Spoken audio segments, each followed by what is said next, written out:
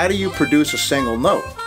Tongue block, pucker. We call it pucker, spit position, U blocking. And that's where if you can roll your tongue, what harmonica do you use? That's known as cross harp. The chromatic harmonica, the first thing I want you to learn on that chromatic is where the notes are.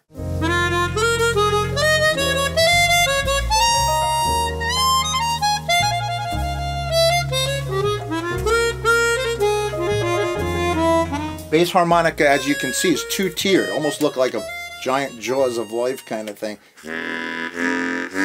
The chord harmonica is basically 30 of these little suckers welded together. On the top tier, here's your dominant seventh. Now on the bottom tier, you would have minor chords.